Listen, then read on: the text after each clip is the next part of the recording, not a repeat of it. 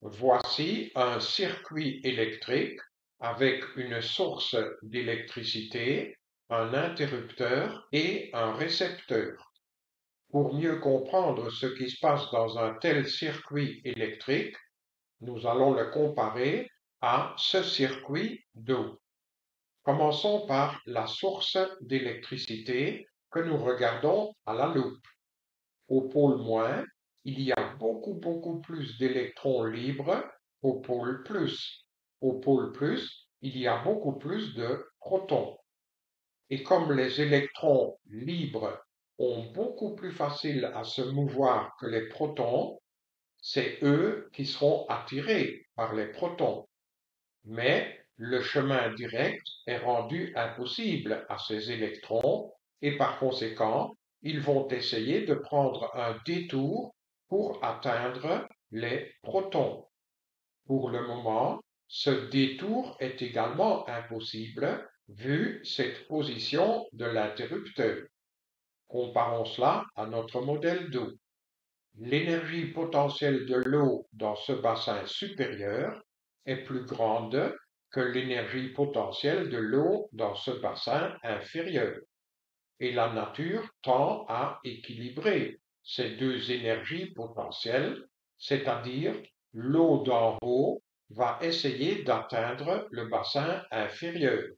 Mais le chemin direct par cette tour lui est rendu impossible et par conséquent, l'eau d'en haut va essayer de prendre cette conduite pour arriver au bassin inférieur.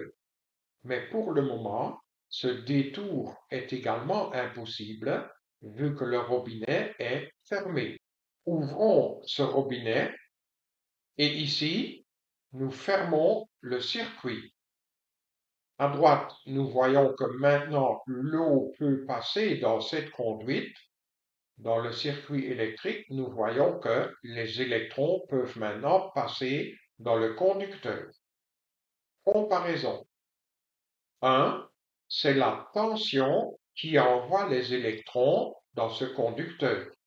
Ici, en fait, c'est la différence des hauteurs qui a comme conséquence la différence des énergies potentielles. Donc finalement, c'est cette différence de hauteur qui envoie l'eau d'en haut dans cette conduite.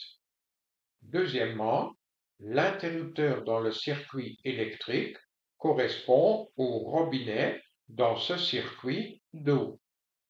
Troisièmement, ce qui traverse le conducteur, ce sont les électrons donc ce sont eux qui forment le courant électrique et ce qui traverse cette conduite, ce sont les gouttes d'eau. Ce sont elles qui forment le rayon d'eau.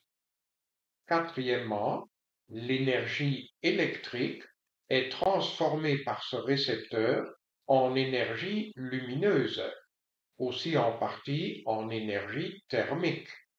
Et ici, l'énergie potentielle de l'eau qui s'est déjà transformé en partie en énergie cinétique, est reçu par ce récepteur et est, grâce à cette roue à eau, transformé en énergie mécanique.